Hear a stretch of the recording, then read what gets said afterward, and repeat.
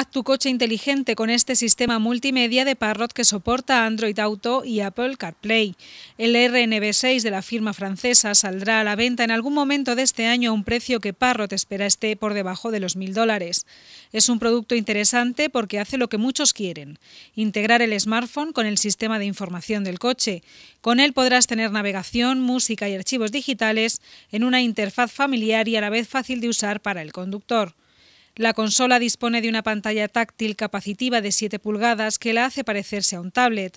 Está basada en Android 5.0 Lollipop, aunque aún hay que afinar el software en algunos puntos.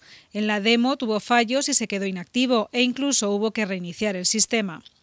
El RNB6 también puede incorporar una cámara en el salpicadero que se sincroniza con el sistema. Es un reportaje de IDG News Service desde CES 2015 en Las Vegas.